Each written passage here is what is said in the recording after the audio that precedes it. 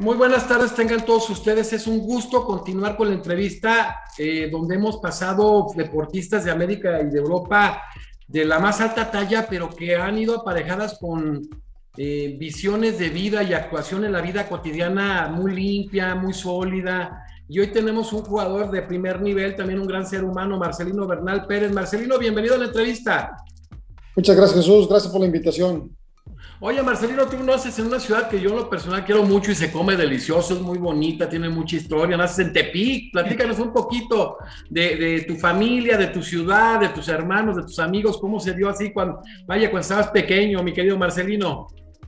Bueno, es una ciudad pequeña, digo, pequeña en relación a las pues casi al resto del resto del país, ¿no? Es una, tenemos una población quizás en el estado, pues un millón de habitantes, entonces no es así tan, tan grande, pero bueno, hay muchas cosas o muchas carencias en algunas cosas, pero yo vine a radicar porque, bueno, eh, pienso que aquí tengo calidad de vida, tengo un poquillo más, no tengo tanto tráfico, no tengo tanto smog, este, en cuanto a inseguridad está bien la ciudad, entonces toda mi familia vive aquí, entonces eh, estamos aquí este, este, contentos, ¿no? Y bueno, pues aquí se nos da la oportunidad de, ir al, de jugar al fútbol y después, bueno, pues a través de, los años, pues ir al, profesional.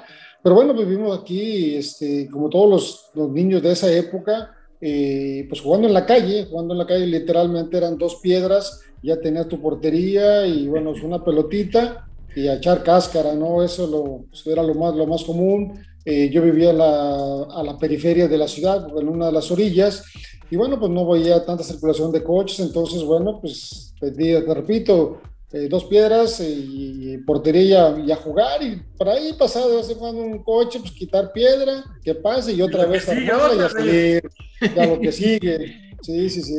Oye, Marcelino, ¿qué colonia vamos a evaluarlos de tu, la colonia donde creciste? ¿Qué colonia era? Es es Colonia Menchaca, este, te digo, te repito, en ese momento era la, periferia y una de las ventajas que yo, pues se puede decir que tuve, porque después, eh, exactamente en nuestra casa este, de, mis papás, eh, estaba exactamente frente de una universidad, la Universidad Autónoma de Nayarit, donde en pues, aquellos tiempos estaba la facilidad de poderte saltar, digo, pues nada más era una, literal, primero no había, no había este, una marca que marcara la, la diferencia, después alguna valla, este, una pues una reja y bueno, después una, una, una, este, una, una barda, ¿no? Pero bueno, fácilmente te asaltabas, entonces como en la parte que daba hacia, hacia de nuestra casa, hacia el frente de esta, universidad, pues es la, la, parte donde estaban las canchas deportivas, entonces había pues ahí para, para jugar y bueno, pues ahí, ahí también nos echábamos nuestras, nuestras tres años más adelante. Fíjate que hablaste de la universidad, la Universidad Autónoma de Nayarit, que han salido excelentes juristas, a mí me ha tocado varias veces ir a dar conferencia, y la directora de la Facultad de Derecho, le mando un saludo, es parte de la estructura que dirijo a nivel nacional, es una excelente también jurista, una gran universidad que de veras ha hecho aportaciones de, abogados muy talentosos que están en, grandes puestos, de hecho el director de posgrado de la Universidad Iberoamericana Santa Fe, Giovanni también es egresado de, de esa universidad como gente del Instituto de Investigación, es una universidad igual ha dado futbolistas de calidad raudales, pues aquí tenemos ahora sí que una joyita, mi querido Marcelino Bernal. Marcelino, tú empiezas también en un equipo que también ha dado muchos jugadores, que ha sido un semillero increíble, que son esos coras de Tepic, ¿verdad? Sí, sí, sí, bueno, tuvimos ahí oportunidad de, de jugar primeramente ser parte de la primera tercera división que se formó acá en Nayarit, específicamente Tepic, y después, bueno, participaron los coros, que son unos coros históricos, que es el equipo pues, de los más viejos de esta, de esta, de esta división. Y bueno, pues recordando que en aquellos tiempos eh, solo había tercera, segunda y primera división.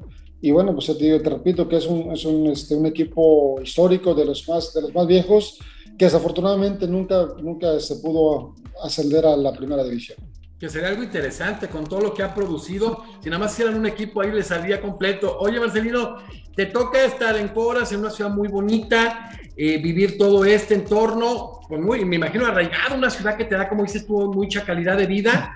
¿Y cuándo, eh, quién era tu ídolo primero? ¿Quién era tu ídolo a seguir este, de acuerdo a tu posición, a lo que veías? ¿Quién eran los jugadores que tú veías en televisión que decías, yo quiero ser como ese? Bueno, mira, primeramente déjame decirte que, bueno, vivimos de una familia humilde que, pues, en aquellos tiempos, chavo, no teníamos televisión, este, realmente no, no teníamos. Lo que de repente hacíamos era ver ya sabes, a la casa de un primo que es el que tenía ese, ese privilegio de tener. Era el este, ricachón de la casa, ¿verdad? Exactamente, era, era, el bueno de la familia. Y este, pero fíjate que en aquellos tiempos, más que nada, más que ver fútbol en, o tratar de ver, en televisión, a mí lo que me, eh, me, llamó la atención era jugar. Jugar. y estar ahí. Inclusive nunca fui o nunca hubo la posibilidad en la cuestión porque eh, mis papá no le gustaba el, fútbol, entonces no había la oportunidad de ir precisamente a ver a los, a los coras, pero pues sí, te digo, el, hecho de jugar y el jugar este, antes de ir a la escuela, después obviamente en la escuela en el recreo, este, después eh, fíjate que en el barrio había un equipo de, de, de, fútbol de personas, pues ya, pues yo las veía grandes, pues digo, yo tenía 8 años, 9 años, y yo veía pues gente de 30, 35 años, pues para mí pues eran, eran gente, gente grande, donde había el, equipo de la colonia y jugaban algunos, este, algunos familiares, tíos, primos, y bueno, junto con, con, amigos, entonces yo me iba con ellos y ya sabes, la clásica, antes de empezar el partido, pues te aventas ahí tus, tus este, patadas, tus tiros a gol, y no se digan de medio tiempo, ¿no? Que ese es lo, eh, lo clásico que en el descanso, pues tú te vas y con otros amigos, pues a, a, este, a patear ahí en la cancha, entonces eso es lo que realmente me llamaba, me, me llamaba la atención. Oye, yo creo que ese potente disparo es de, ahora sí que de nacimiento. Cuando empezaste allá a patear el balón, todo el mundo te debe haber dicho, oye, bájale. Siempre le pegaste muy duro, mi querido Marcelino. Sí, fíjate que eso sí fue una cualidad que tuve desde niño. Es una cuestión innata, ¿no? Innato, totalmente. Eso. Y bueno, pues eso también nos costó este, muchos regaños, porque ya sabes, este, eh, cristales de ventanas al Porque bueno, pues es lo clásico, ¿no? Jugando y pues de repente se te sale ahí fuerte. Todavía me tocó en esos inicios que te estoy hablando, de esos 8, 9 años, con esos famosos balones de cuero, esos pesados que cuando se mojaban, oh. costaba patearlos. Entonces. No, y cuando te pegaban un cabezazo, quería Entonces estamos hablando, estamos hablando de hace muchísimos años, ¿no? Pero bueno, nos tocó esa transición y todavía nos tocó la última parte donde se, se utilizaba ese balón. Que muy duro. Oye, y después de, este equipo, pues, eh, eh, en inferiores, en divisiones inferiores, ¿cómo se da la oportunidad para que empieces, para que te llamen a primera división? Bueno, mira, yo, este, eh, este después de que estuve ahí en, Coras, en el 1983 hay una de las, se está preparando una selección para el Mundial Juvenil precisamente sí. 83 que iba a ser acá en, México.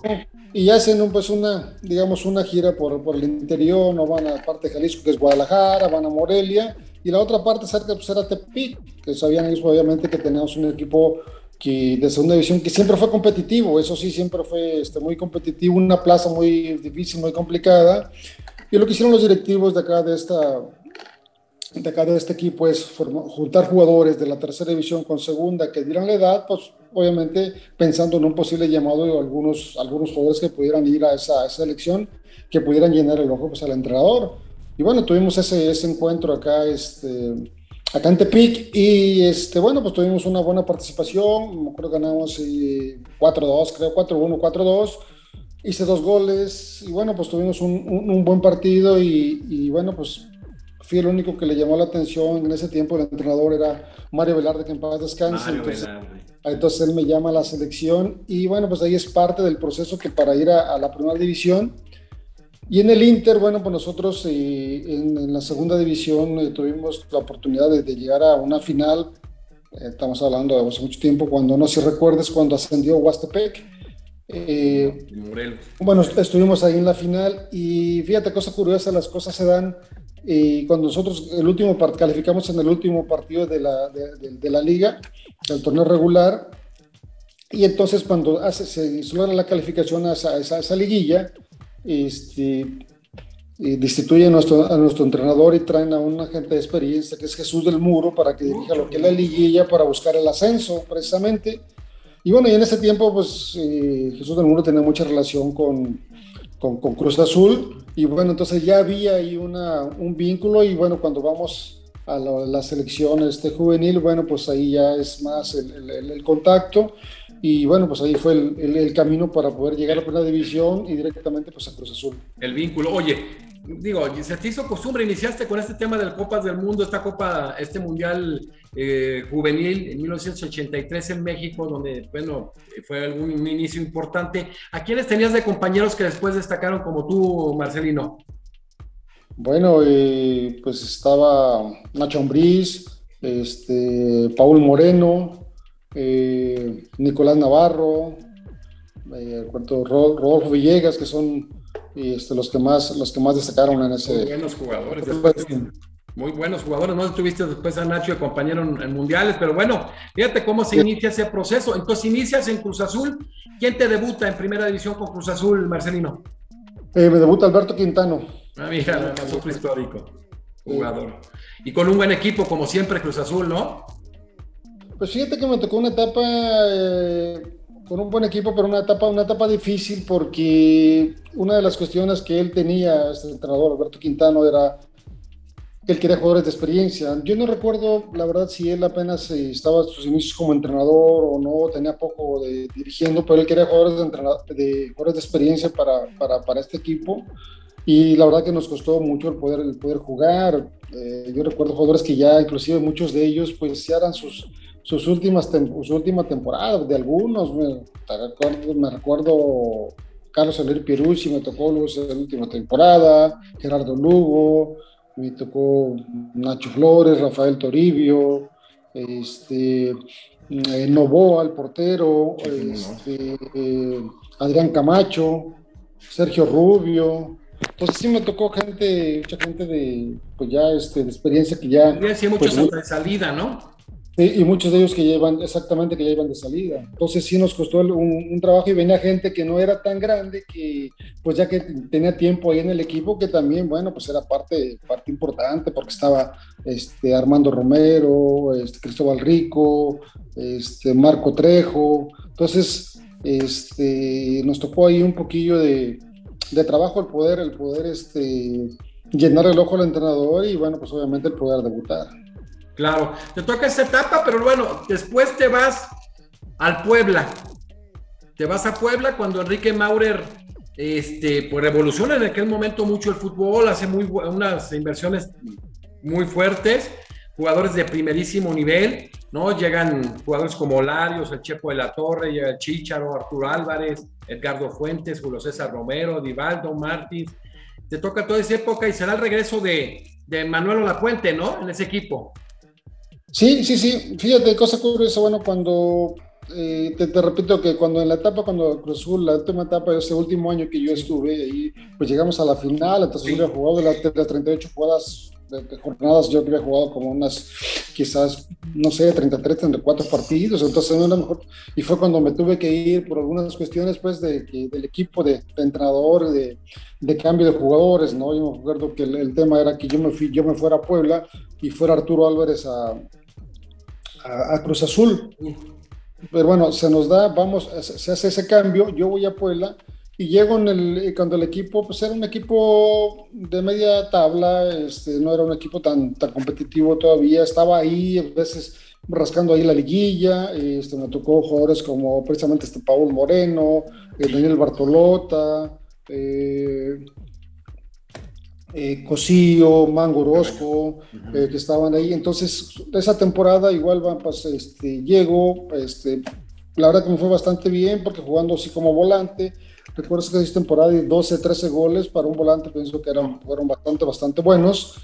Y al siguiente, justo antes de terminar ese, ese, ese, ese, torneo, es cuando Emilio Maurer compra el equipo de Puebla. Entonces jugamos el último, eh, ahí jugamos eh, eh, esa última, última etapa, un poquito de liguilla que quedamos eliminados, creo que en la primera, en la primera, este, la primera ronda. Pero tuvimos la fortuna también de ese mismo año ser campeones de Copa, ya con Emilio Maure como, como, como, como directivo. Y, y, al siguiente torneo, eso es lo que estás, estás comentando, ¿no? Ya eran jugadores de, de mucho de mucha experiencia, jugadores que habían demostrado mucho, mucho nivel, una calidad muy grande. Y bueno, pues ya se integra Pablo Larios, este, viene este, Edgardo Fuentes, este, viene Chepo, este, Romerito, está este, Edivaldo Martín, eh, después llega Mortero Aravena, este, Chicharo, eh, Pillo Dávalos, otra vez. Esparza. Eh, regresa después, el siguiente año llega, regresa Arturo Álvarez, Mangorosco, Cosillo, este, sí, y algunos jugadores, bueno, que eran jóvenes y que, y que empezaban y bueno, pues tenían ahí sus, sus minutos. Sergio Almaguer este, estuvo, estaba, en esa época estuvo Arturo Cañas, Carlos Poblete. Sí, sí, entonces, eh, eh, jugadores de, bueno, de nivel, este, de una calidad. No les dolía pues, nada, Marcelino, no les dolía nada ese Puebla. No, nada, y este, y el primer año, bueno, el primer año que se es que esto fue una cuestión, no llegan todos juntos, ¿no? Porque primero, no sé si recuerdas, primero llega este, como entrenador Pedro García. Ah, sí, el chileno, ¿cómo no? Llega el chileno, sí, y bueno, pues sí andamos bien, este, fuimos super líderes. Super líderes. Pero en la, en la, en la liguilla nos eh, perdimos en la segunda ronda, no recuerdo contra quién, y entonces para el siguiente ya se va y llega Manolo La Puente, entonces ya se refuerza mejor el equipo. Y ya, bueno, eso es cuando el equipo, bueno, pues la verdad que es una, era una, una máquina porque, bueno, pues somos eh, super líder todo el torneo y ganamos la liga, ganamos la copa y por ende, pues el campeón de campeones. Fue un año impresionante. Oye, hablas de Pedro García y Manolo Lapuente, siempre te después, vamos a hablar más adelante, te gustó ser director técnico. ¿Qué le aprendiste a Pedro García y qué le aprendiste a Manolo Lapuente, Marcelino? Ah, bueno, pues a todos, creo que a todo el mundo se le aprende algo, algo bueno y lo malo. Con unos aprendes lo que debes de hacer y con, otro, lo que no debes de hacer, ¿no? Este, y bueno, pues fíjate que con Manolo yo, le, yo le aprendí esa, esa, capacidad de convencer al jugador, de sacar, tratar de sacarle lo, lo, lo máximo, exprimirlo, ¿no? Este, y saber bien sus condiciones, trabajar, bueno, trabajar en, esa, en la cuestión mental, porque la cuestión futbolística pues ya la tiene, te repito que eran pues, jugadores de experiencia, entonces, ¿cómo amalgamarlos para que, para que este, funcionaran como, como equipo? Porque individualmente pues ya estaba aprobado, pero el tema es, en este caso, pues, Fútbol Asociación, pues es este, hacer un, realmente un equipo que, este, que demuestre cada que sale a la cancha, bueno, pues que es un equipo superior al rival, al que tiene enfrente. Claro, y, pero fíjate, y además tener tantas estrellas realmente, que es complicado, ¿no, Marcelino? Sí, porque tú sabes que los egos siempre son este. Y luego que si me sientas y por Son difíciles, claro, que yo soy mejor que aquel y porque a mí, este, si yo ando mejor, o, no sé, siempre hay algo que a veces nos cuesta el hecho de reconocer, bueno, pues el momento que estamos pasando y si otro está mejor, bueno, pues y bueno, pues también te cuentas, después te das cuenta, esto es lo que entiendes a los entrenadores, es de que cuando tú juegas, pues tú nomás te preocupas por ti, pero el entrenador tiene que preocuparse por todo el equipo y de todo el equipo pues, somos 25, 26, 27 jugadores, ¿no? De, acuerdo a cada equipo, pero pues es el promedio de 25 jugadores. Claro. oye, Marcelo, todos todas las partes de un equipo, todas las estructuras, tú como entrenador, los más, más fácil nos lo puedes decir, son importantes. Pero hablando de la media que tú integrabas, ¿qué son claves ahí? Es el equilibrio. ¿Qué media tenían? Imagínate estar tú, que le pegabas con tubo, amigo. Y luego otro que le pegaba, que te manda a saludar también Jorge el Mortero Aravena, que también le pegaba como los dioses, ¿no? Y luego tenías al Chepo, al caballo cosío. No, no, no, no. ¿Quién, quién podía hacer? ¿Quién les podía dar pelea a esa media, mi querido Marcelino, la verdad? No, la verdad es un medio campo sí fuerte, impresionante y y bueno, pues de repente lo importante es tener buenos jugadores ahí dentro del terreno de juego, ¿no? Pero también es importante los relevos. Entonces, realmente cuando sale algún, algún jugador por alguna razón este, una lesión, a lo mejor enfermedad, suspensión o definitivamente una decisión del entrenador, pues el equipo no, no, no, no, no decaía, este, seguía igual, a veces eh, subía su calidad porque, bueno, pues obviamente todos los jugadores somos diferentes y aportamos cosas diferentes. ¿A quién tenías en la banca? Julio César Romero, Romerito, ¿no? Pues es que te digo que no estuvimos juntos, pero sí estaba, estuvo Romerito, este, de repente ponían a Ángel Torres de, Ángel Torres a, jugar de volante, lo, lo ponían de lateral, o sea, sí había una, una mezcla donde podían, este, podías jugar este, o jugar en varias posiciones con los, con, los, con los mismos jugadores. De repente jugamos, este, de cuenta, 4-3-3 con solamente tres volantes, pero, pero ayudando a la gente que jugaba por fuera, los hacía volantear, a veces a, eh, eh, a Edivaldo, a veces al mismo, al mismo Chicharo. Entonces te digo, sí, sí tenía, sí tenía este, variantes para hacer, si querías más, ser más ofensivo, ser más precavido, ser más defensivo, entonces sí tenías alternativas, ¿no? Oye, Marcelino, ¿qué representó eh, eh, Emilio Maurer para el fútbol mexicano en general? Tú que lo viviste, que fuiste parte de un proyecto tan exitoso, de un Puebla que irrumpió eh, como el mejor Puebla de la historia en su momento. ¿Qué representó Emilio? Bueno, primero, para mí representó una, una, una persona apasionada del fútbol, una persona que desde mi punto de vista le aportó mucho al fútbol y bueno, yo lo viví, pues, como decimos, de carne propia ahí en, el equipo, aunque estaba preocupado porque el equipo siempre fuera, fuera el mejor, que fuera un equipo protagonista, pero sobre todo un equipo que le gustara a la gente, que, la gente, que ese equipo motivara a la gente para ir al, para ir al estadio, que a fin de cuentas, pues es lo que se busca en el fútbol, ¿no? Que haya entradas, que la gente vaya y disfrute el fútbol. Y si era un, apasionado y, un, y preocupado por esto, tan es así que bueno, pues se pueda por armar el equipo, un equipo fuerte, competitivo, que, que, que, luchara. Y bueno, creo que también lo quiso transmitir a nivel, a nivel selección nacional, a nivel federación. Y bueno, pues ya las cuestiones, este, problemas personales, pues ya son otra cosa, ¿no? Pero, pero para mí una persona pasional del, del, fútbol, este, que le metió muchas ganas, en, eh, muchas decisiones, ganas, eh, cosas contra, contravertidas pero que siempre con el afán de, de, de, mejor, de mejorar el fútbol. Y yo la verdad, pues sí, eh, como persona estoy muy agradecido porque él fue una persona que a mí me ayudó mucho. Fíjate, ya hablaste un poco, adelantaste sin querer de lo que es tu filosofía de, entrenador, de ese equipo que gana, pero busca tener las formas adecuadas de ganar para gustarle al público. ¿Qué pasa hoy en día, Marcelino, que de verdad se pondera tanto el resultado y que técnicos que han hecho escuela y que han hecho un juego vistoso últimamente como Nacho Ambriz son pocos. Y ese Puebla llamaba la atención, te llenaba el ojo, no, no tan solo con resultados, sino con el desarrollo del fútbol que se practicaba.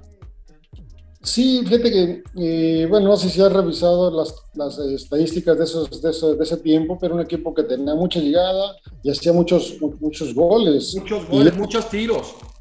Así es, digo, muchas, muchas emociones este, y, y otras este, festejos, era un equipo que dio muchas satisfacciones porque era un equipo que estaba diseñado y, la filosofía era buscar siempre el arco, el arco rival, era siempre hacer un gol más que el rival, entonces es un equipo que proponía, iba al ataque, pero también de alguna manera este, dejaba jugar, ¿por qué? Porque bueno, siempre estaba buscando este, el, arco rival y a veces, bueno, pues tomaba riesgos a veces innecesarios, pero siempre con el, el, afán de ir, de ir al frente. Muchos dicen que son porque son las temporadas, eran temporadas largas, que este, los entrenadores todavía se atrevían a eso porque los aguantaban. Yo, verdad, no, no, no, estoy de acuerdo porque, a fin de cuentas, si te van a echar, te van a echar, como, como quiera que sea. Entonces, yo pienso, aunque sean cuatro o cinco jornadas, si tú muestras eh, lo que tú quieres con el equipo, eh, a lo mejor de este equipo te pueden echar, pero te vuelven a contratar porque, bueno, pues es la que la gente, la gente está buscando y siempre hay gente que va más a, este, a buscar ese tipo de cosas que a buscar el resultado, ¿no? O hay equipos que son, o a través del tiempo, muchos equipos han sido campeones, pero sin gustar y a lo mejor se acuerdan que fue campeón, pero pasan así como que sin pena ni gloria. Así es, delucidos. Este, y tú lo dijiste hace un momento, el, el, León de Nacho Ambril, la verdad espectacular, el fútbol que a todo el mundo nos agradó. Oye, fíjate, ya hablaste mucho de tu filosofía. O sea que nosotros cuando veamos de nueva cuenta, o sea, cuando veamos pronto en primera división a Marcelino Bernal entrenando, vamos a ver un equipo ofensivo. O sea, esa es la filosofía que tiene hoy Marcelino desde la visión del entrenador. Sí, sí, sí. Siempre al final, mira, yo siempre le digo a los chavos y que me ha tocado dirigir, no me ha tocado dirigir de primera división, pero eh, ligas de ascenso, segunda división, segunda ¿Sí? Y ese siempre es una, una, pregunta tonta, ¿no? Porque ¿cómo se ganan los partidos? Pues con goles. Entonces, pues vamos a buscar la calidad para hacer los goles, para marcar esa, esa, esa diferencia, ¿no? Eso de... Eh, yo pienso que eso ya pasó la historia, eso de los 11 atrás y a ver si una jugada balón parado, o sea, por ahí en un contragolpe pero desafortunadamente lo sigues viendo en el fútbol. No, no, es, que lo acabamos de ver ayer con, con, un gran entrenador, Siboldi, que siempre juega muy bonito, con el, los 11 atrás en un momento del Tijuana, la verdad.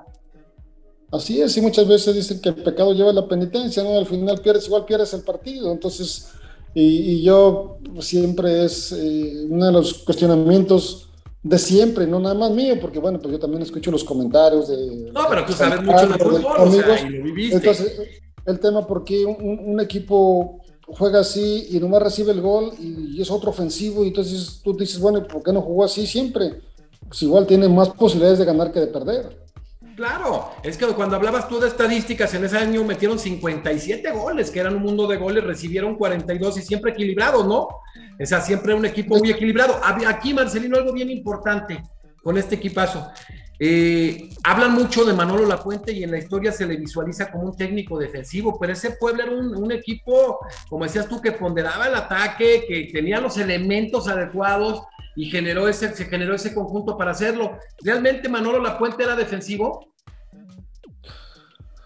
Eh, pues es que tiene sus facetas. Yo, la verdad, este, ¿A ti yo qué Manolo Lapuente te tocó, Marcelino?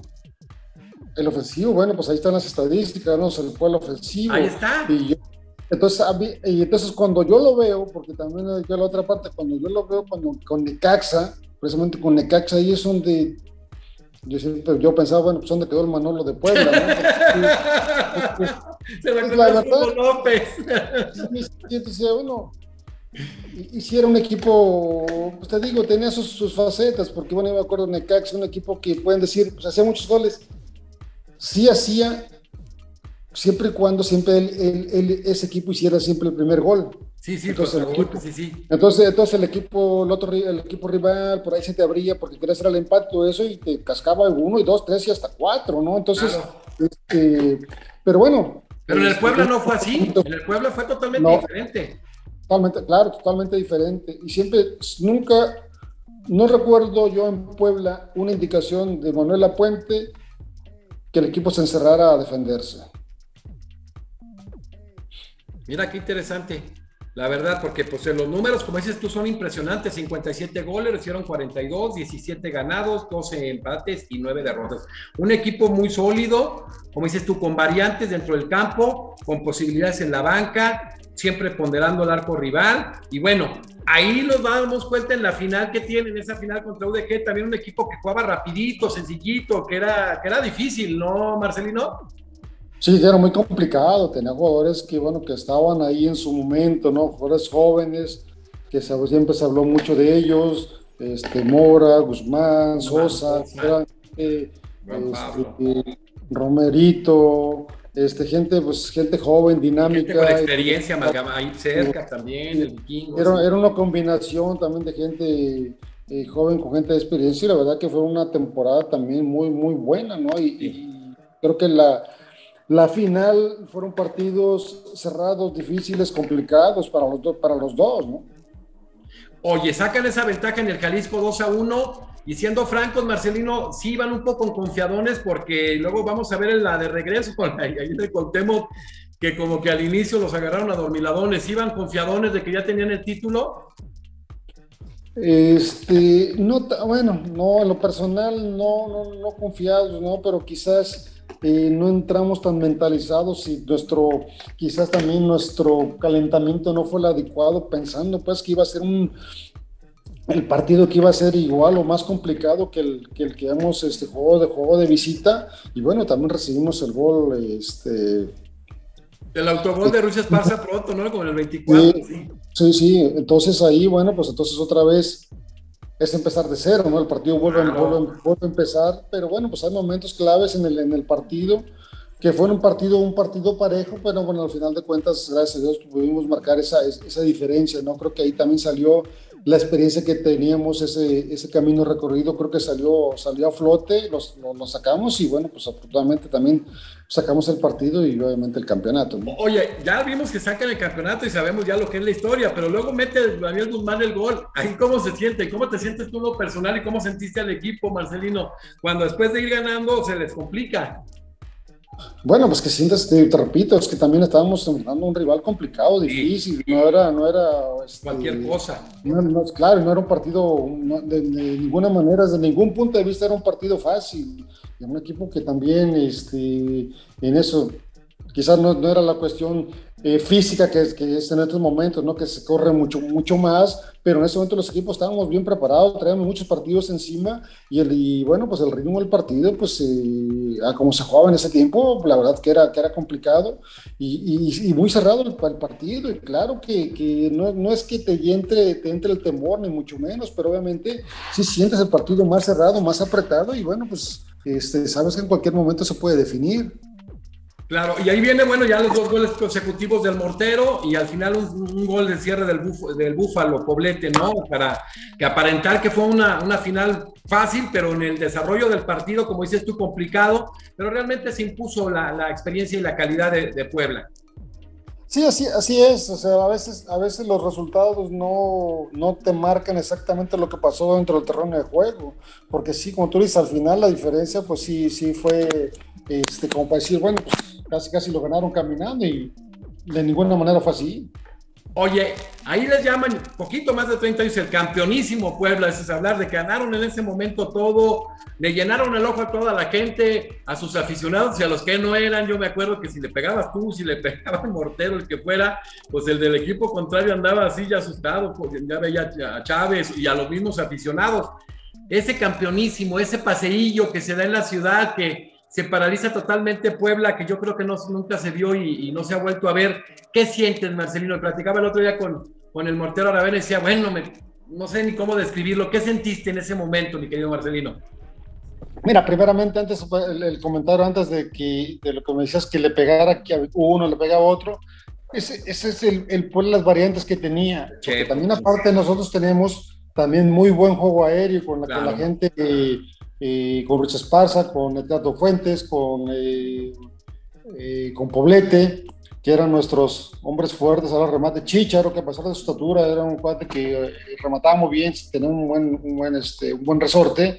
Hicimos bastante goles, entonces sí había variedad este, para llegar al arco rival y hacer goles de distintas, de distintas maneras, ¿no?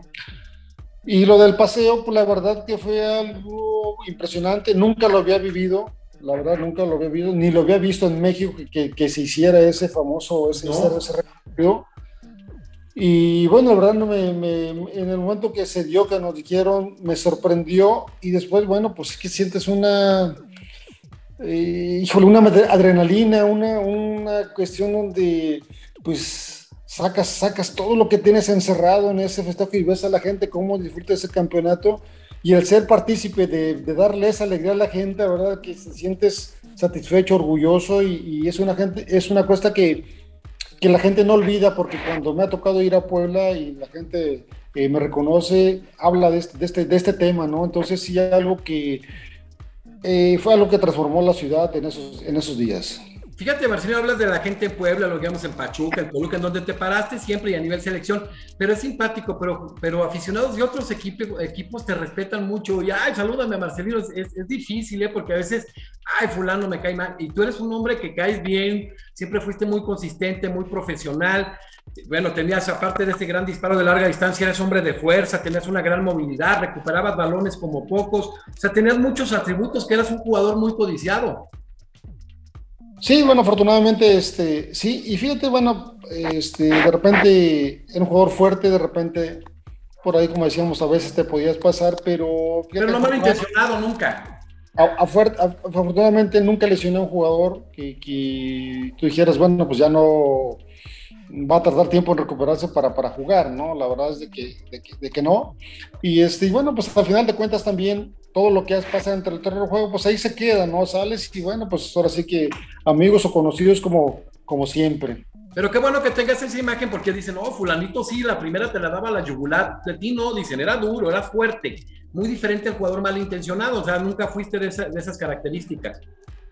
No, nunca me pasó por la mente decir, bueno, pues ahora nos está haciendo daño, lo voy a lastimar, ¿no? Le voy a meter una patada para sacarlo del partido. Nunca pasó por mi mente. Siempre era, bueno, pues balones de vida y todo, pues es fuerte, ¿no? Porque, bueno, pues obviamente el rival iba de la misma manera. Entonces, pues eran entradas fuertes, este, leales y, bueno, pues sigue, ¿no? Y, y, sí, te digo, la verdad es que siempre que la, con, me encuentro, que me encuentre, siempre nos saludamos y, a veces pues comentamos cosas que pasaron en esos, en esos tiempos, ¿no? Y eso, eso, eso es lo bonito. Vamos a seguir viendo todo tu paso en clubes y después el paso en selecciones y de como entrenador.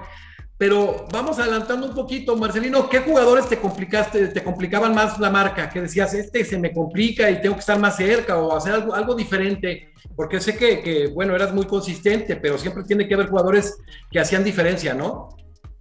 Sí, sí, claro, mira, había jugadores que que contrastan pues en sus formas de jugar o en sus ritmos. Por ejemplo, Benjamín Galeano es un jugador complicado, difícil. Hay que mandarle un saludo a Benjamín que va a estar en la entrevista, mi querido Marcelino. Claro que sí, con gusto. Un saludo a mi Benja, un gran, un gran amigo que este, pues yo lo, lo, quiero mucho. La verdad fue un compañero de mucho, de mucho tiempo. Fuimos compañeros en, en equipo, fuimos compañeros en, en, este, en, Pachuca. Estuvimos un, un tiempo, mucho tiempo en selección nacional y, bueno, pues también fue, con él tuve mi primera oportunidad en primera división, siendo él el entrenador de Santos, ser su auxiliar. Era su auxiliar en Santos. Así es. Y este, bueno, él, de, Entonces te faltaba esa participación en primera división, mi querido Marcelino, ahí estuviste. Sí, sí. Y este, ya era difícil, bueno, el tema también por lo de sus dos perfiles. Entonces no sabes dónde iba a salir y, era, era complicado. Y, bueno, otro que me tocó así marcar que era complicado, Carlos Santos. Antonio Carlos Santos, ¿verdad? Había un cambio de, ritmo impresionante, este, hábil, entonces sí era, era, era complicado y pienso que son los, los jugadores que me tocó marcar más, más complicados. Que se complicaron más, ¿no? Tienes esa época dorada en Puebla y siempre hay que vivir nuevos retos, ¿no? Hasta emocionalmente, hasta cambio de chip, decir, bueno, pues este equipo parece que no le gana a nadie. Y de ahí de, Puebla, quién te vas? ¿Con Toluca? A Toluca, sí. Y, bueno, tampoco, no me fui porque quería irme, ¿no? Porque bueno, pues yo estaba a gusto, la verdad, un equipo muy competitivo, un equipo, este, una ciudad que a mí me encantó. Muy este, bonita. Puebla. Y bueno, pues ya tenía, estaba, me estaba estableciendo, se puede decir, este, pero bueno, el fútbol así es, ¿no? De repente te lleva a lugares este, inesperados. Exactamente, yo cuando, te digo, por circunstancias tuve que irme, que habla conmigo Milo Mauro, que, que me va a poner en el draft. Eh, este, digo, bueno, pues... ¿Sí te pusiste triste, no, Marcelino? Sí te pusiste triste, ¿no?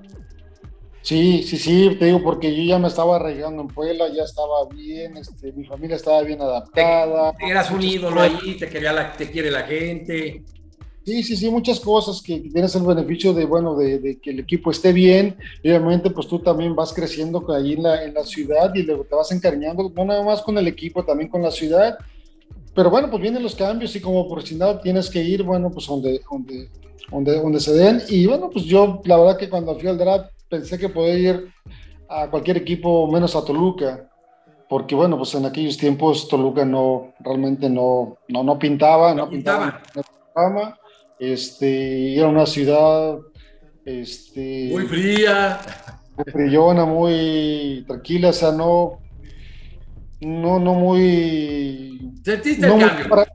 no muy bien para vivir, la verdad. El clima también era totalmente diferente, una ciudad muy fría, este, la misma gente fría, entonces, sí, muchas cuestiones, pero bueno, te digo, como te repito, como profesional te tienes que adaptar a las circunstancias. Y bueno, pues nos tocó ir a Toluca, donde vivimos una etapa, eh, digamos, complicada, porque primero el, eh, era su proyecto siempre fue darle oportunidad a gente joven cuando yo este, llegué y mantener un poco poca gente de experiencia y bueno, pues y darle proyección a los, a los jóvenes que venían empujando de fuerzas básicas o de, de, reserva, ¿no? Me acuerdo, este, gente de experiencia, Armando Romero, este, eh, eh, ¿quién más estaba? Pues creo que estaba el Venado Gutiérrez, este, y eh, Corti, eh, y por ahí creo que nada más. Eh, ah, estaba Huicho García, este, Horacio Moller, que eran los que estaban, y bueno, pues después ahí es donde se le dio oportunidad a la gente joven. Jorge Rodríguez creo que tenía una temporada, dos temporadas que había, que había debutado, y bueno, y ahí me tocó los inicios de Abundis, de Enrique Alfaro, de, Flaco Macías, Marcos Ayala, Rodolfo Tinoco, este, todos ellos. Entonces, muchos que llegaron pues de la escuela de Becerra, ¿no, Marcelino? Muchos de los que empezó a producir Becerra en Guadalajara. Ah, ah, así es, así es. Allí recuerdo que cada año hacían unos partidos con las escuelas de Toluca, eh, Guadalajara y México, y bueno, o sea, ahí hacían, bueno, pues tomaban los mejores jugadores y les daban esa proyección, los llevaban allá a Toluca, y bueno, pues a, trabajar con ellos, y bueno, salieron infinidad de, infinidad de jugadores, pero a mí básicamente me tocó la etapa de, de ellos ver este, su crecimiento, ¿no? La formación de ese equipo, ¿no? O sea, era un proceso diferente. Así es, y entonces me tocó esa etapa, pues yo la vi este, pues, pues difícil porque pues no es nada fácil, el, el, el, el, cambio total de un equipo muy competitivo que está peleando por ir a la liguilla y buscar el campeonato a un equipo que está, este, vas a, a, a, a información. ¿verdad? Global. Y apoyar a los, a, los jóvenes, ¿no? Porque obviamente pues vas a cometer este, errores y obviamente también se va a ver reflejado en la tabla, que eso es... y después tú eres el de experiencia, tú vienes de acá, te, por eso te trajimos, ¿no? O sea, la presión. Exactamente. ¿Quién era tu técnico, Marcelino? Ese año que, ya no, tantos que pasaron ahí, me tocaron tantos entrenadores ahí. Este, ya no recuerdo quién era. Fue una etapa inestable, ¿verdad? En Toluca, una etapa complicada.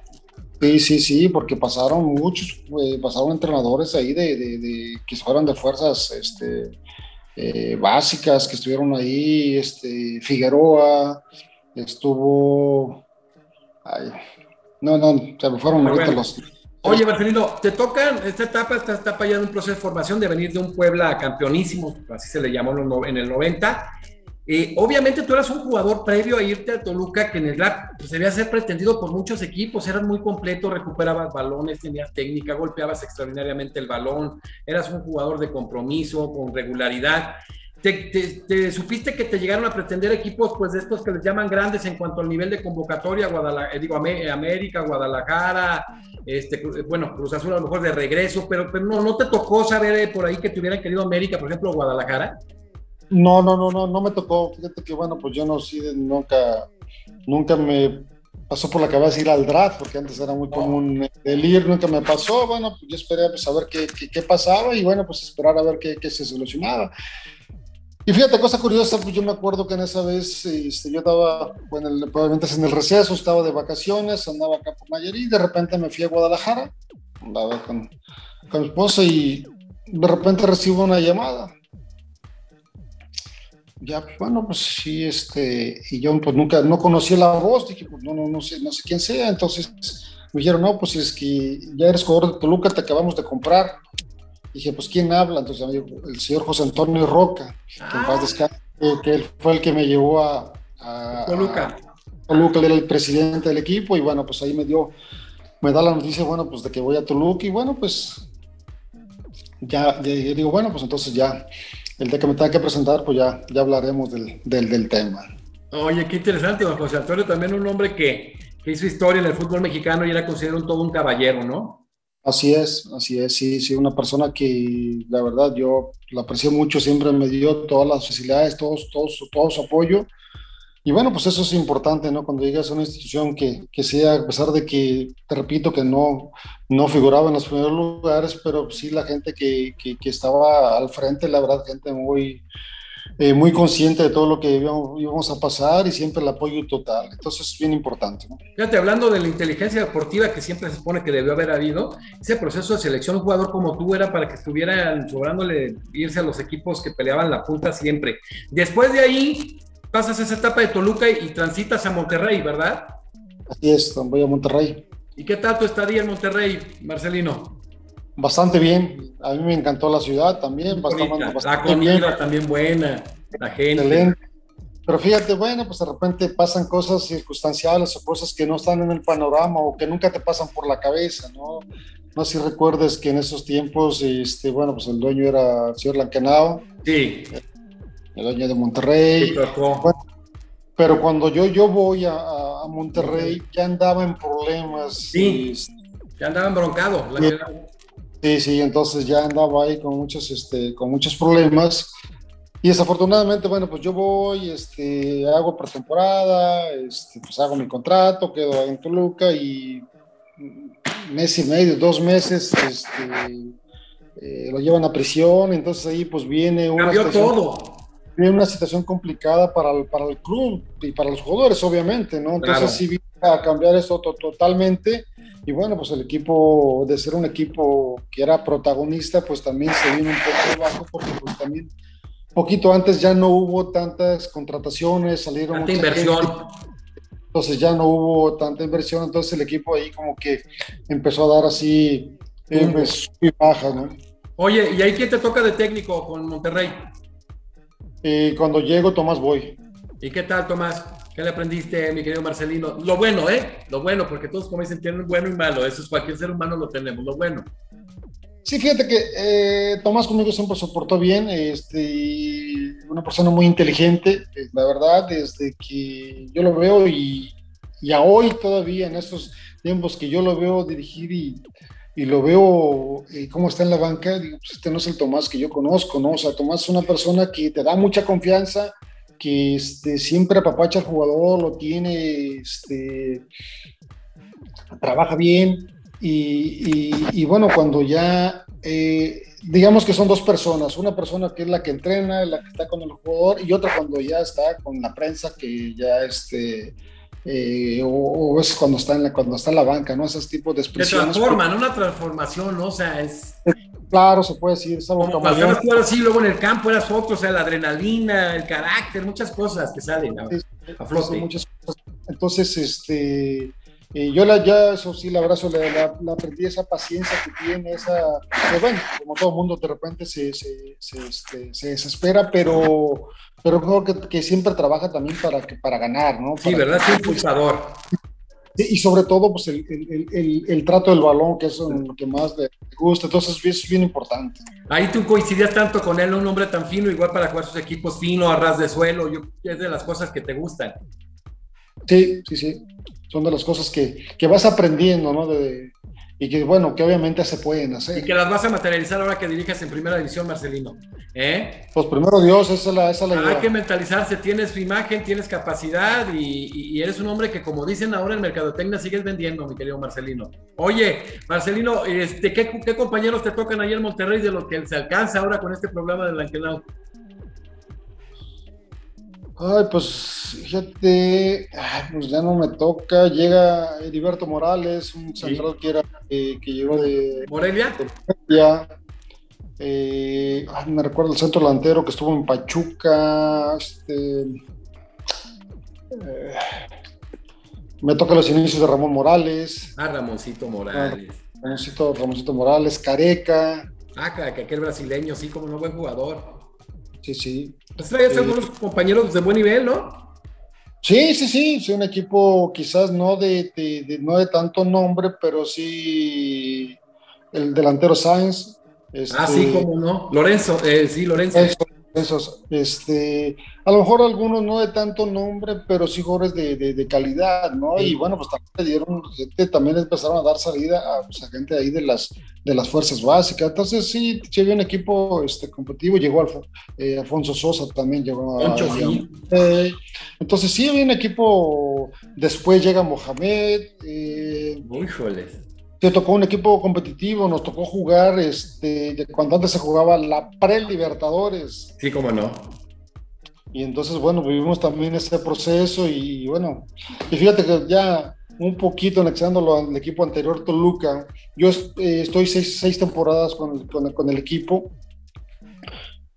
y cuando, bueno, pues ya se vean, de alguna manera ya estaban, o, al poco tiempo se acabaron de consolidar eh, toda la gente que te nombré, Abundis, Enrique Alfaro, Macías, Tinoco. Sí, como me voy, la temporada que me voy, a la siguiente jornada, el último entrenador era Juan Manuel Álvarez, que ah, y que se quedó, se quedó para el siguiente torneo eh, cinco o seis jornadas, el equipo no funciona, lo despiden, llega Enrique Mesa y bueno, pues viene con la, fallado, sí. la historia de... La, historia dorada de Toluca. Es campeonato tras campeonato, cosa que siempre digo, bueno, no me lo lamento porque bueno, pues la vida y el fútbol así es. No, y porque luego vamos a ver que te tocaron otra cosa bien interesante en una modalidad diferente a la de Puebla y ahorita lo vamos a platicar pero sí dices, bueno, sí coseché, pero digo, sí sembré, pero no coseché. Entonces, bueno, era una época. No, te toca ese equipo, imagínate, mi Marcelino, qué maravilla.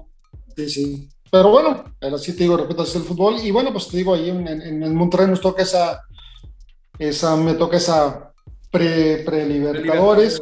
y, y, también pasa lo mismo con esta situación que viene encerrando el, el, equipo, ¿no? De las problemáticas de, y luego el equipo eh, un tiempo lo toma Hacienda para administrarlo por la cuestión este, de toda la cuestión que se estaba, que se estaba manejando. Bueno, pues dando cuentas, tres, tres torneos y me tengo que ir.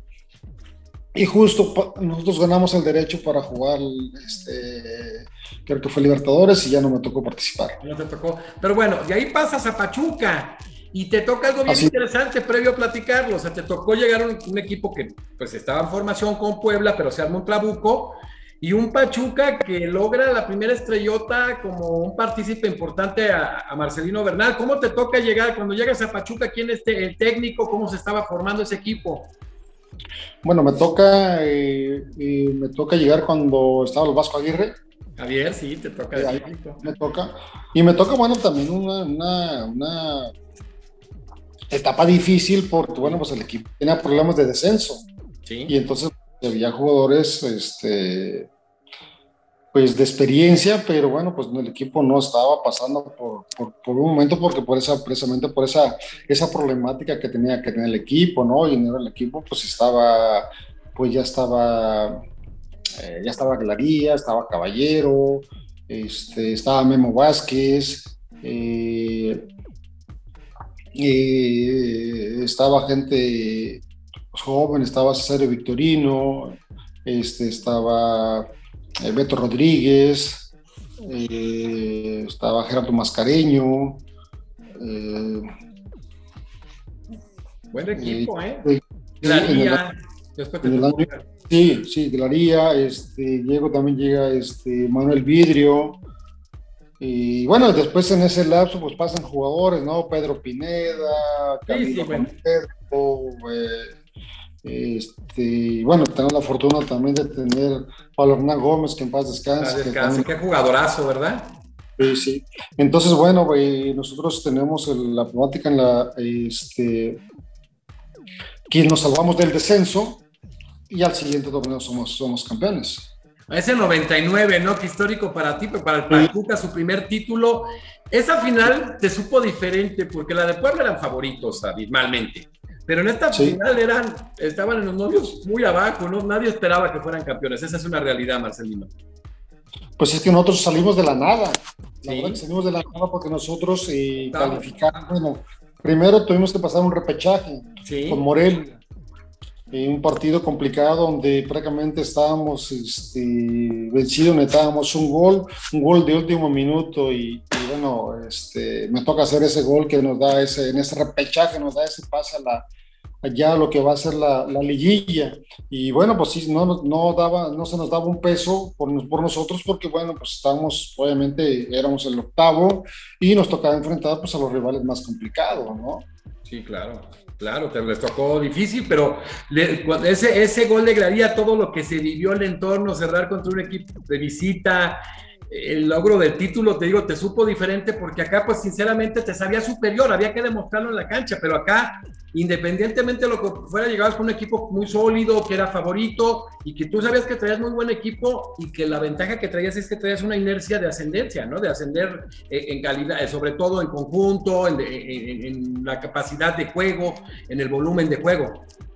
Sí, es que veníamos, te repito, de la nada, ¿no? Un equipo que teníamos en el papel, pues puede decir que todo que ganar y nada que perder, que venimos ascendiendo poco a poco y que veníamos primeramente embalados y motivados para buscar este vencer este, a lo que nos tocaba, ¿no? Y bueno, me acuerdo aquel Atlas complicadísimo de, de, Ricardo Lavolpe, que tuvimos que, vencerlo también, y todos los partidos los vencimos de, todos lo vencimos de, visitante, tuvimos que hacerlo.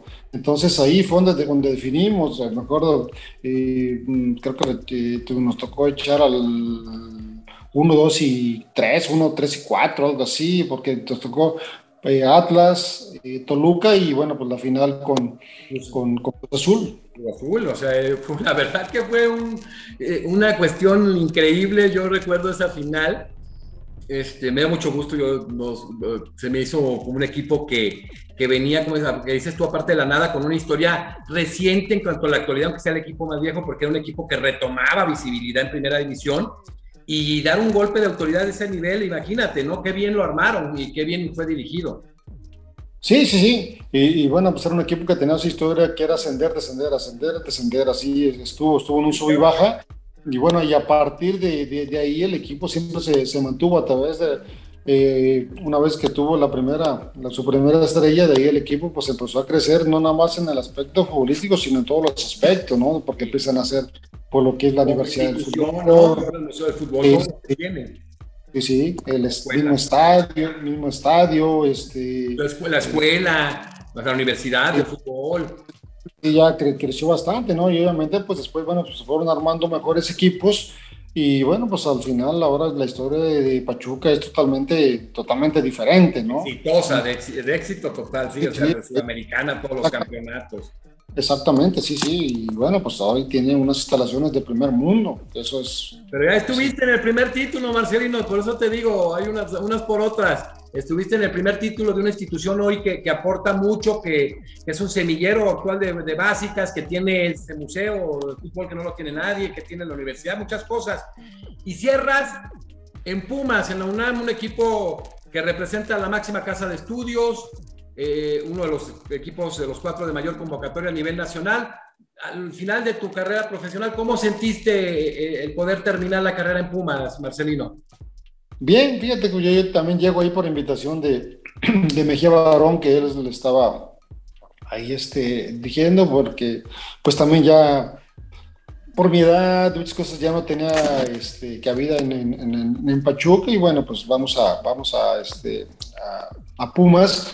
Una etapa bonita, complicada, pero bonita porque, bueno, pues el hecho de llegar al vestidor y ver, tú sabes, mucha, mucha gente joven, pues sí ves el, el, contraste, ¿no? Y bueno, al estar ahí, el poder competir a pesar de, de, tu edad, pues era una cosa bonita, una cosa motivante y bueno, pues creo que las cosas, este...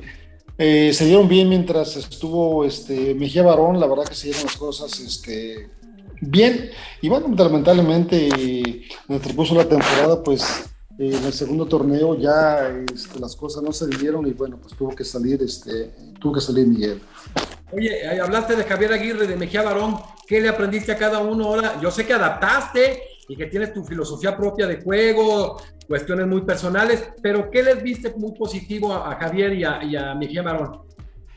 Mira, Javier es un tipo muy persistente, muy, este, muy, muy, tenaz, que tiene eh, mucha motivación tiene mucha motivación, como decimos en el argot, tiene mucha labia y, te convence, la verdad, te convence de lo que, de, lo que quiere, este, te transmite lo que trabaja, quiere, quiere que se haga y, tiene la manera pues de convencerte para que lo puedas, que lo puedas hacer. Y es un cuate muy muy amigable, muy, muy amigable con el jugador y bueno, pues más con, quizás, no sé si con todo mundo, pero pero sobre todo con la gente que le tocó él de alguna manera este, convivir como jugador, porque a mí, a mí me tocó en selección nacional, me tocó eh, siendo auxiliar de, de, Mejía Barón, entonces pues sí hubo una relación ahí un poquillo más eh, cercana y bueno, pues eso al, momento de, de, ser mi entrenador, pues sí había esa, esa confianza para poderme decir las cosas y, y creo que eso, que eso, que eso ayuda, ¿no? O eso ayudó y la verdad que te repito, que es lo que me gustó esa, esa, ese poder de convencimiento que tiene hacia el, hacia el jugador. Excelente. Oye, tú irrumpes en un Mundial Juvenil en el 83 y se te hace costumbre, mi Marcelín, con toda esa regularidad, esa calidad, ese golpeo de balón. Te toca, eh, previo a las eliminatorias de este Mundial de 94, que como dicen ahora, sí lo pasaron caminando, Marcelino. No, no, no se pasó caminando. Acuérdate que también fue complicado. O sea, yo, mira, yo estuve en el periodo de cuando se inició eso con. Eh, primero estuvo, un periodo estuvo La Puente, pero después ya estuvo, este, fue cuando llega, no, fue cuando llega Menotti. Después, ah, Menotti, es cierto, previo Menotti. Te tocó Menotti. Sí, entonces ahí me llega, este, cuando estoy ahí con, con me toca la etapa de Cominotti, me toca, fíjate, una etapa, una etapa difícil, buena y, complicada, porque bueno, pues el, eh, ya sabes, siempre están viendo los jugadores para ver quién van a llamar, quién no. Y el día que, porque eso lo supe porque después él platicando me lo, me lo comentó, que el día que fueron a ver, a verme, a, para dar ese, seguimiento al jugador y ver si era candidato a, a selección nacional y jugando en la Estadio Azteca contra el Necaxa ahí me lesiono. Y, me rompí el ligamento. Y bueno eh, ya había aparecido yo en la lista entonces pues yo hablo con más bien él habla conmigo cuando estoy este, lesionado y él la verdad no se me olvidan sus palabras que, que fueron muy motivantes porque me dice conmigo ningún jugador pierde su lugar por lesión, la verdad por otras cosas, pero por lesión no, entonces con calma, recupérate y cuando estés listo, este, eh, vas a regresar. Y bueno, pues fue una motivación muy grande y, la verdad que este, pues le echamos, como dicen en el argot futbolístico, en el barrio, le echamos ganas, este, le metimos intensidad para nuestra recuperación nos recuperamos cuando empezamos a jugar y cuando ya estaba jugando yo regular, vino el llamado y bueno, pues ahí estuvimos ahí en esa, en esa, en esa selección. Cuando viene, ya sabes la problemática, porque sí, acuérdate que también estuvo, eh, cuando está Menotti, eh, es cuando la etapa en que Milo Mauro era presidente de la federación. Cuando viene la problemática y, quitan a, a, a, este, a Milo Maurer, pues por ende también se va, se va el entrenador, se va al entrenador nacional, que es Menotti, y llega eh, alguien, ellos buscaron eh, una persona, un entrenador que tuviera pues similitud para darle continuidad al trabajo que se estaba haciendo, y bueno, lo encontraron en, Miguel Mejía Barón, que la verdad sí era, sí era, la filosofía era muy, muy, muy parecida, y, este, y bueno, ya cuando lo nombra, él da su lista de, la gente para la primera, las primeras concentraciones y no estoy ahí.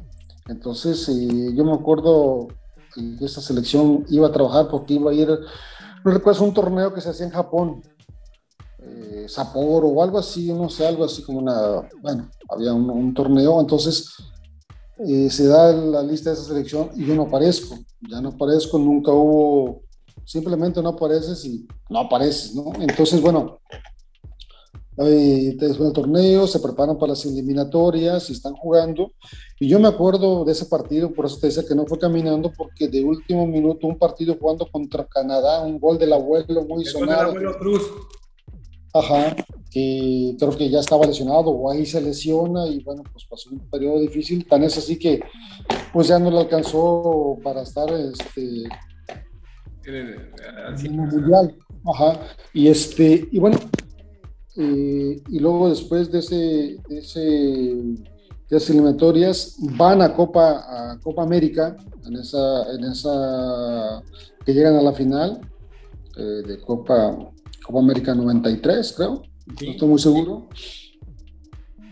eh, regresan y luego viene Copa de Oro que se juega en México se juega en el Estadio Azteca y después, después que pasa eso y empieza el siguiente torneo en la liga, es cuando eh, Miguel Mejía habla conmigo y me llaman a la selección ya este, después de que fue la, la Copa de Oro México.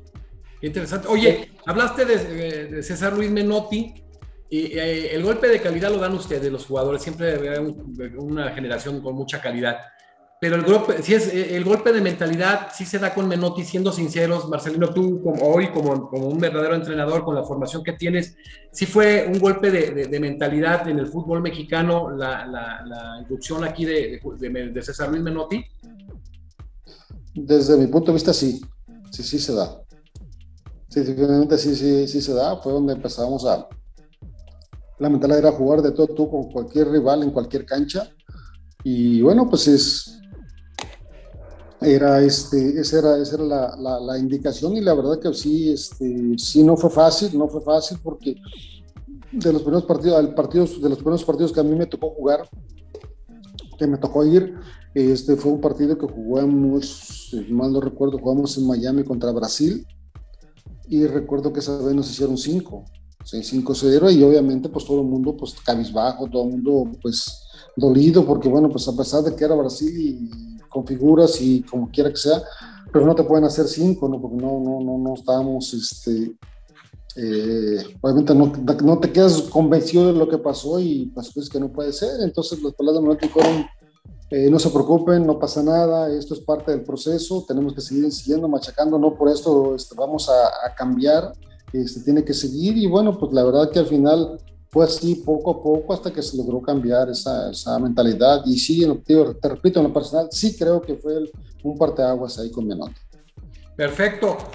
Bueno, tu historia de selección es muy, muy agradable. Digo, la verdad que aquí es muy fácil juzgar y que decimos que porque no somos campeones del mundo. También ojalá que tuvieran aficionados y, comentaristas campeones del mundo. O sea, la verdad ha crecido enormemente. Quien se acuerda de mundiales anteriores no competíamos.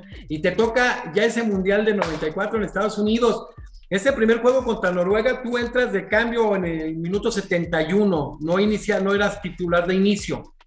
Eh, ¿Cómo viviste primero desde, desde, desde la banca ese juego México-Noruega?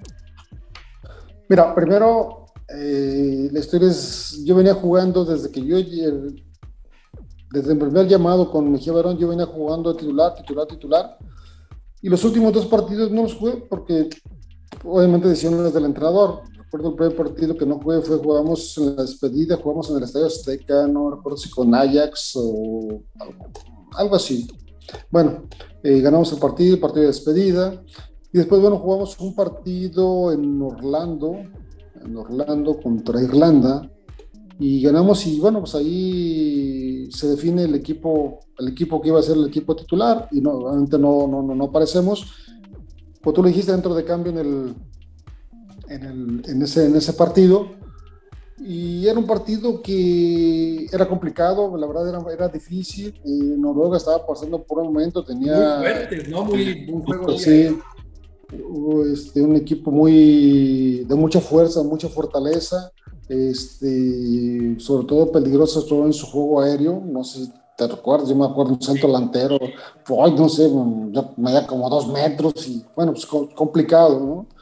Pero desde, viendo viéndolo desde la banca, era un, partido eh, ganable, un, partido donde tuvimos oportunidades de poder, este, de poder hacer el gol y podernos ponernos en ventaja, pero bueno, pues en circunstancias del, fútbol, o errores, o desaciertos, eh, o fallas, bueno, pero no logramos concretar y bueno, pues ahí el partido se empieza, se empieza a complicar.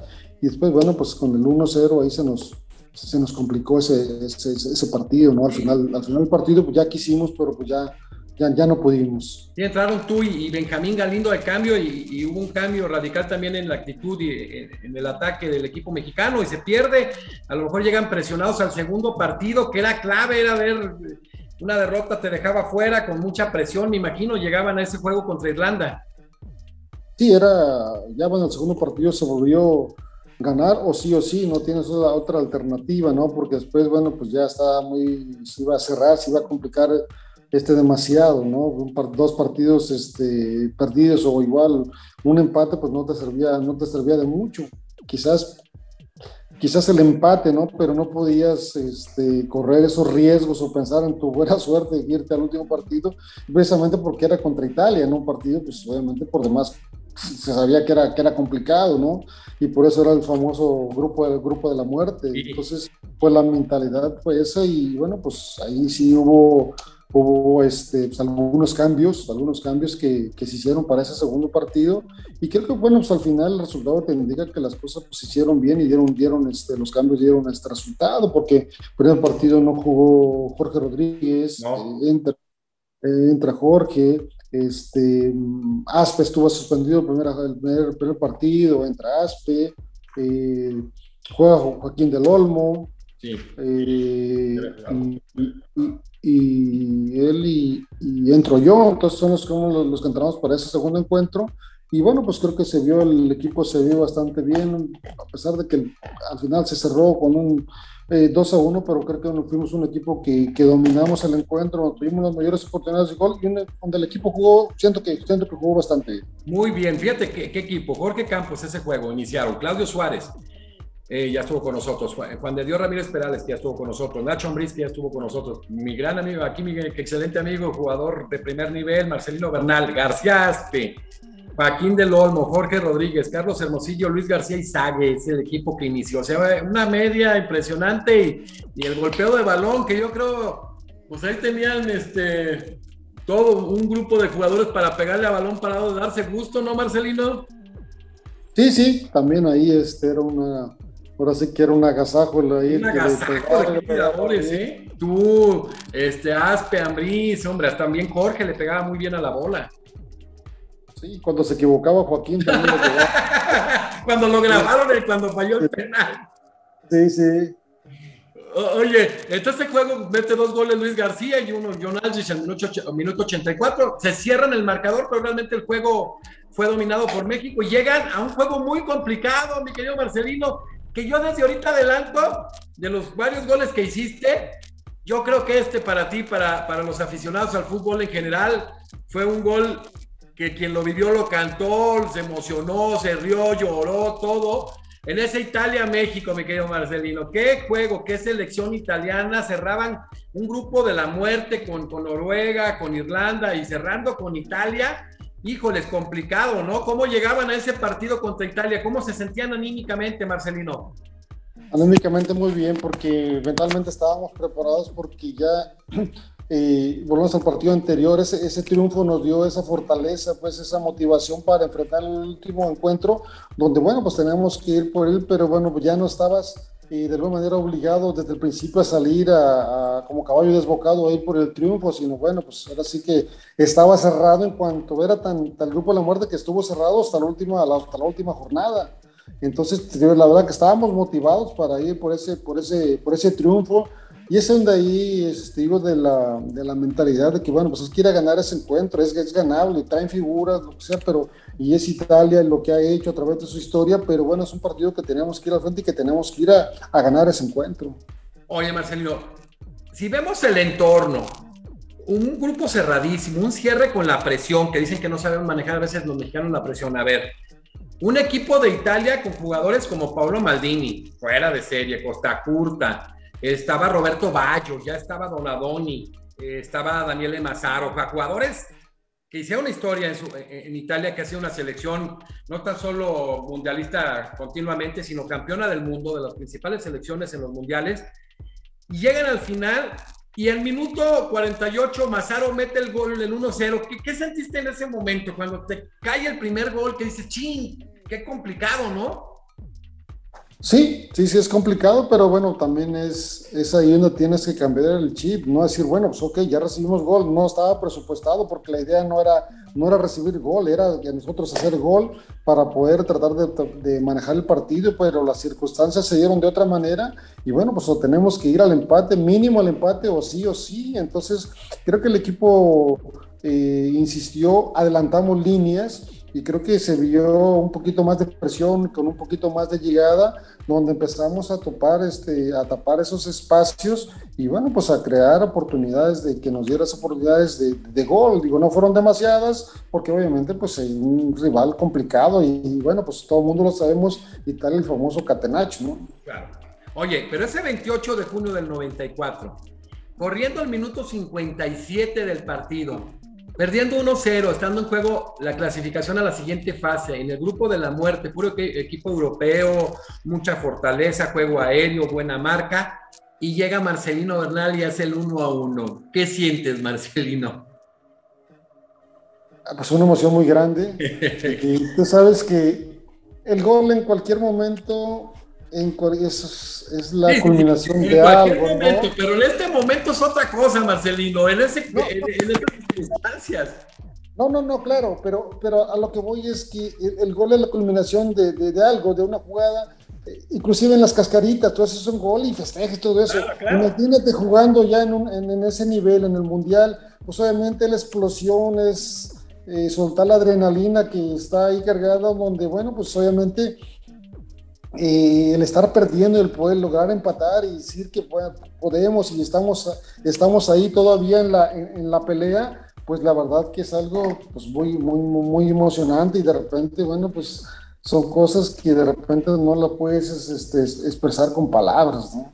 Oye, Marcelino, ese 28 de junio del 94 no te marcó a ti nada más a México, marcó todo un país. Imagínate ese minuto 57 del juego, millones de mexicanos saltando, gritando, abrazándose por un disparo tuyo, Marcelino. Sí, fíjate que, bueno, siempre uno, el, hecho de ir a selección nacional, el representante de, pues de todo un país, ¿no? Y te das cuenta la cantidad de, de habitantes que tiene el país, tú eres el representante, pues es una emoción muy grande, ¿no?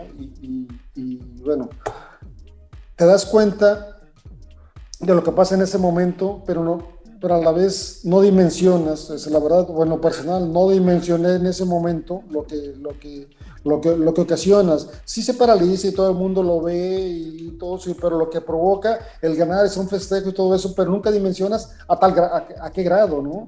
Este, y bueno, después de esto, después del término del partido, cuando vamos al hotel y ya en la cena y todo eso, este, nos ponen imágenes de lo que está pasando pues en México, en diferentes ciudades, de los festejos, y bueno, y, ahí sí te das cuenta realmente de lo que provoca un triunfo o un, resultado importante o, un gol, lo que provoca, la magnitud de todo lo que, lo que provoca, ¿no?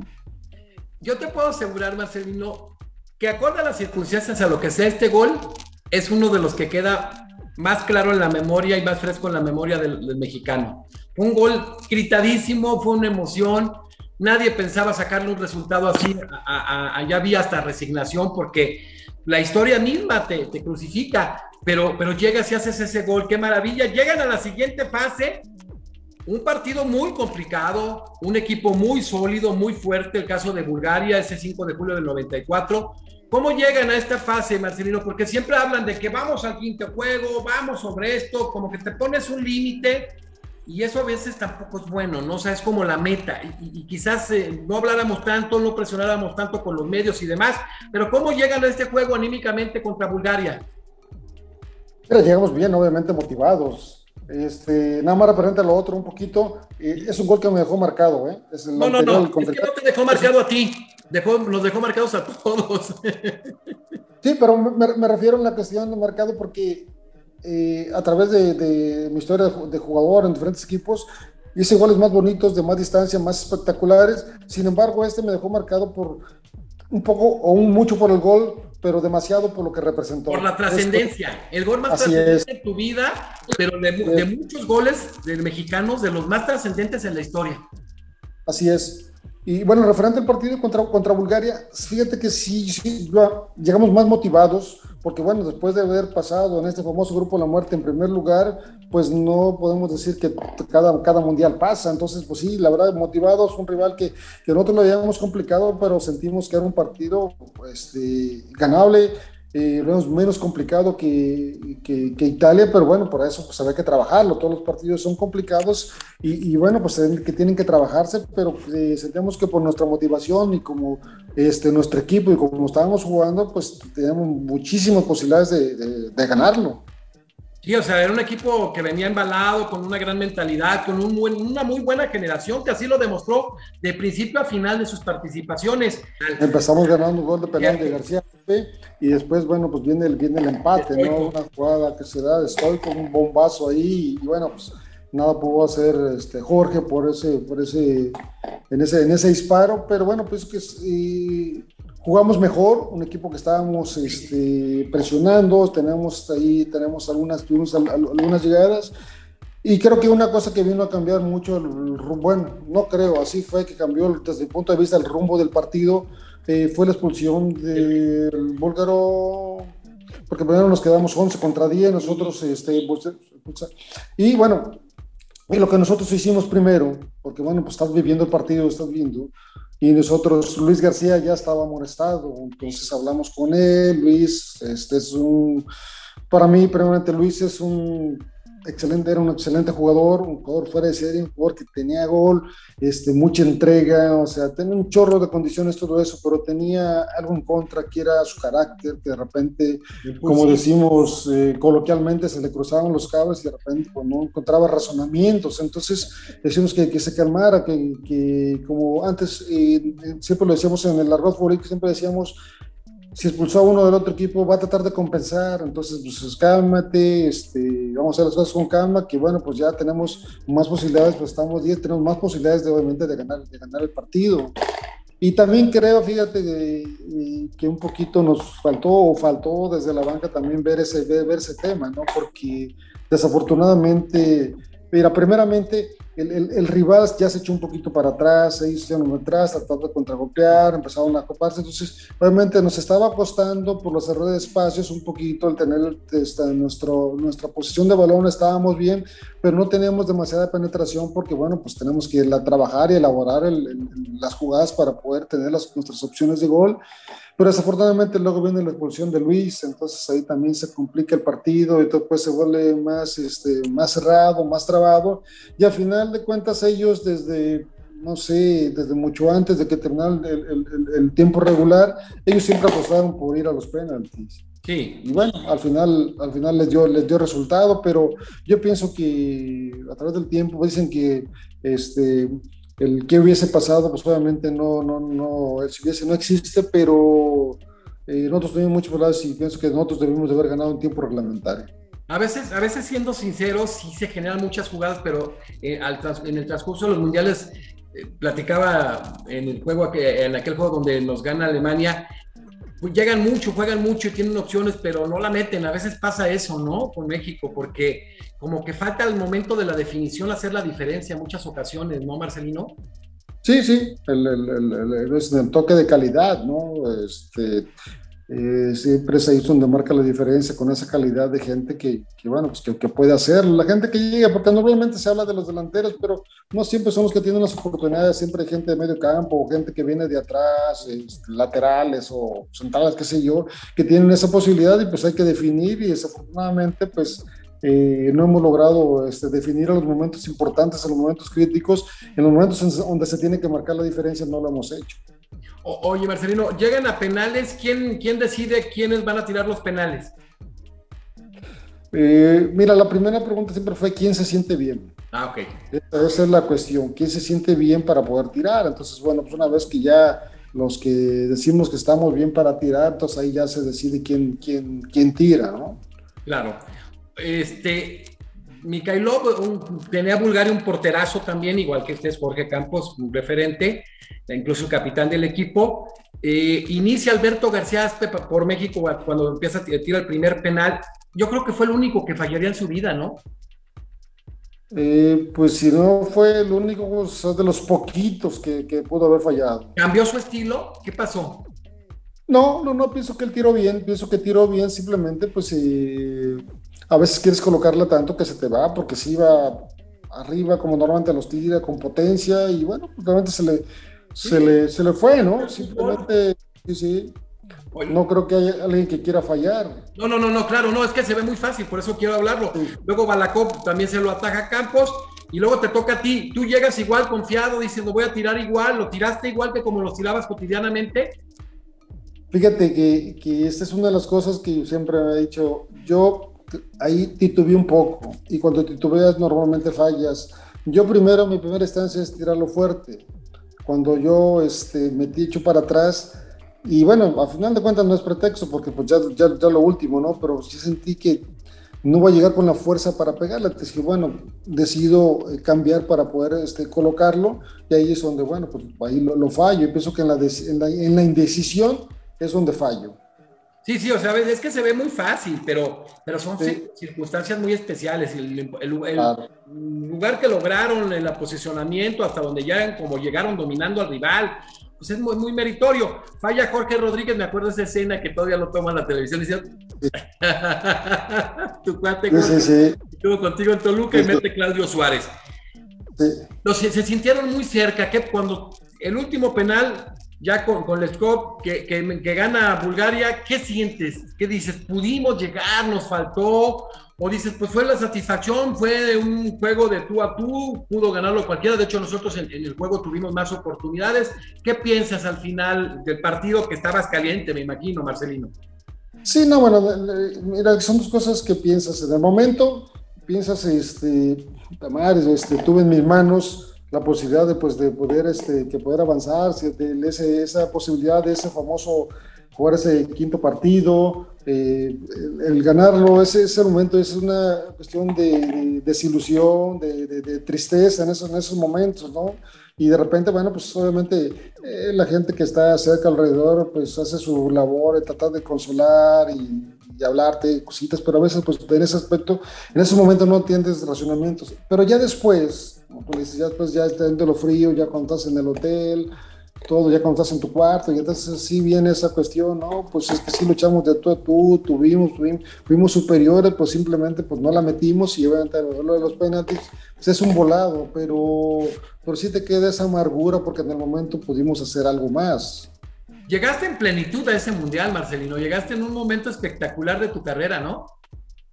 Pues llegué bien, fíjate, pero yo me sentía bien físicamente, creo que todo, todo anduvo bien pero yo llegué con 36 años ahí. Pero llegaste pleno, te meten en el 71 en el primer juego y ya no soltaste la titularidad.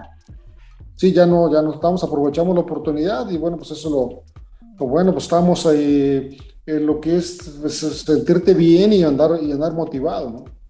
Oye, ya, para mí una excelente participación, fue un equipo que hizo vibrar ese juego contra Italia, cuando le ganan Milano, yo recuerdo cómo gritaban los comentaristas, contra Bulgaria fue, se quedó con la inquietud, ¿no? De que si se guardó los cambios, de que se, hizo todo aquel fenómeno, ¿no? Con Mejía Barón, un hombre muy decente, muy inteligente, sé que es difícil, se guardó los cambios, se necesitaron hacer cambios tú ya hoy como estratega, porque él mismo también lo puede visualizar diferente a los años. Mira, es, una cuestión complicada porque son momentos, es la cuestión del momento, o sea, eh, tú tienes que tomar las decisiones en, su momento.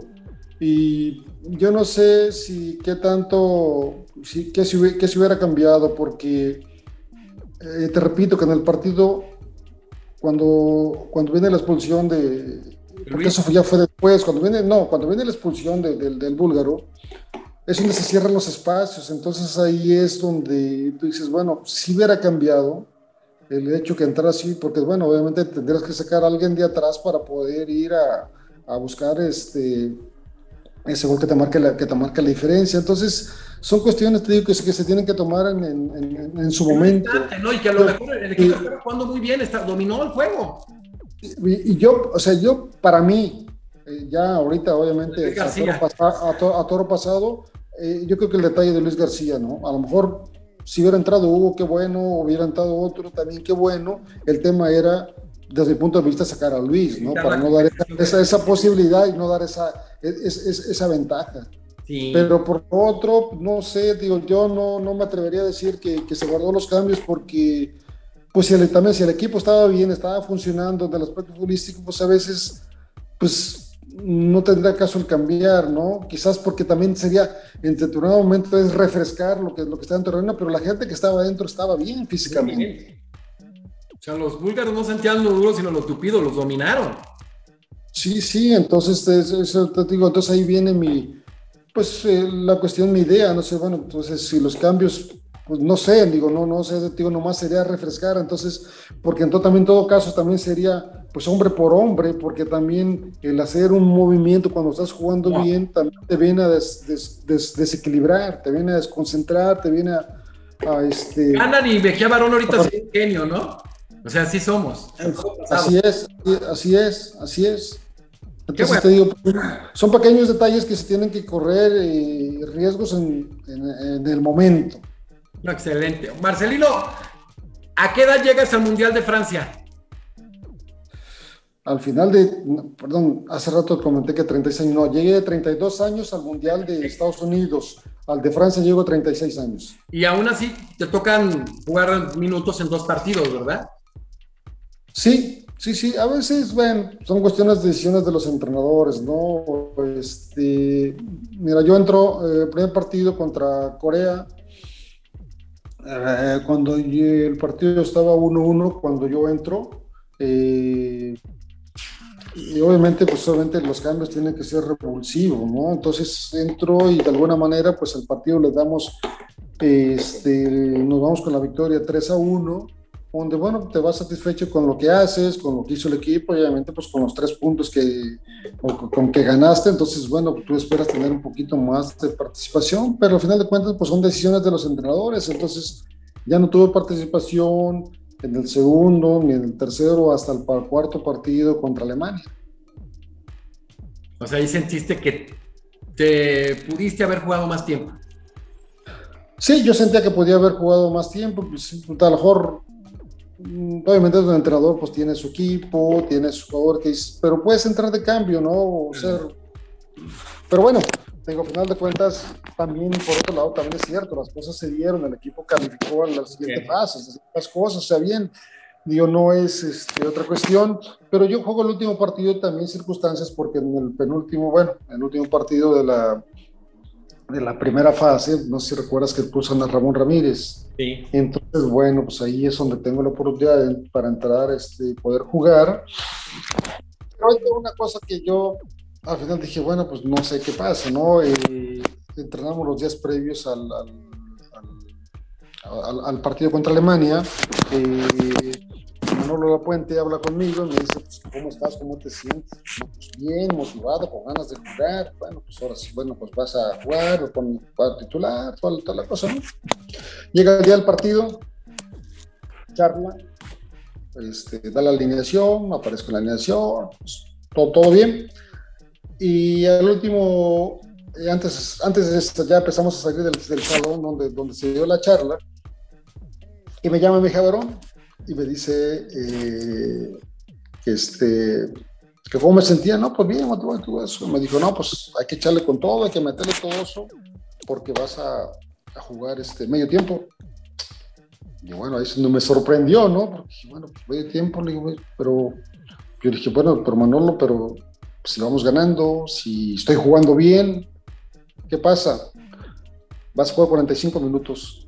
Y efectivamente jugó 45 minutos. Un partido que este, estábamos bien. Y muy bien.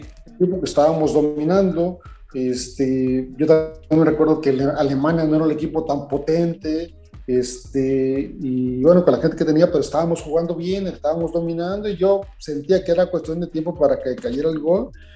Y bueno, pues efectivamente, este, ahí fue donde jugué 45 minutos. Y bueno, en esos, en esos tiempos yo me acuerdo bien que él siempre quiso hacer en muchos entrenamientos y en algunos partidos hizo que él quería que Claudio Suárez jugara de medio contención y Rodrigo Lara jugara defensa central. Y bueno, creo que fue donde pagamos también ahí consecuencias, ¿no? Porque no sé si recuerdas que los goles fueron precisamente en la zona donde está Rodrigo Lara, que yo no lo critico ni mucho menos.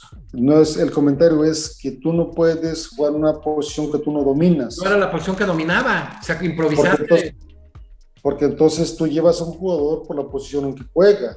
Entonces tú juegas, no es lo mismo meter a un jugador por una emergencia al decir, bueno, pues el equipo tiene que jugar de esta manera. Entonces este, al final creo que pagamos, pagamos consecuencia y en base a esto volvemos a la situación de que cuando tienes posibilidades de poder hacer el gol que te marque decisivo, porque no sé si recuerdas que Luis, Luis Hernández tuvo para hacer el 2-0 y no lo hicimos para exactamente para matar, no lo hacemos y después, bueno, viene la reacción y recibimos los goles. Que tuvo un mundialazo también Luis Hernández, ¿no? Cuatro goles en ese mundial. Así es, ¿no? No, no, no, una, un mundial espectacular para Luis. Oye, eh, eh, este, pues ese, como que ese momento y ahorita que sale la explicación, qué interesante, porque sí fue la crítica, lo, y sobre todo se hizo directa a Rodrigo Lara, pero como dices tú, lo improvisaron en una posición que no era la de él. Pero al final de cuentas, Marcelino Bernal juega dos mundiales. Entonces, todo el aprendizaje, Marcelino en dos mundiales. Campeón con Puebla, campeón este, con Pachuca, toda la historia de los equipos que estuviste jugando, que ya hicimos todo un viraje pues con entrenadores a nivel selección y a nivel club muy importantes que aprendiste cosas, que desechaste cosas, que supiste cuál era lo que podías hacer de uno, lo que no deberías hacer, ya lo dijiste también. Y luego empiezas tú ya tiempo antes de, de retirarte, me imagino, con una visión de decir, puedo entrenar en, en un futuro, me imagino, Marcelino. Sí, sí, sí. Sí, bueno, pues ya vas este, metiéndote en otras en, otros, este, en otras dinámicas, ¿no? En otra forma de, pensar, ya vas pensando este, qué, qué, podrías hacer, qué no puedes hacer, si hay oportunidades, posibilidades, pues muchas cosas ya te van pasando por la cabeza porque obviamente también ya ves cerca tu retiro. Perfecto, entonces tú ya en 2006, de 2006 a 2009 eres auxiliar, ya lo habías dicho en el Santos, ¿con quién? ¿Con Benjamín? Con Benjamín Galindo. Bueno, es que primero... Sí. Es que primeramente tuve un proceso, yo cuando yo me retiro 2001. ¿Sí? 2001, eh, noviembre del dos, sí, noviembre de 2001. ¿Sí? Así. al siguiente torneo, eh, van pocos partidos y me llama gente eh, de Pachuca, bueno, porque bueno, solamente uno ya tiene mi título de entrenador, quiere dirigir, entonces me llaman y me ofrecen una segunda división ahí en Pachuca.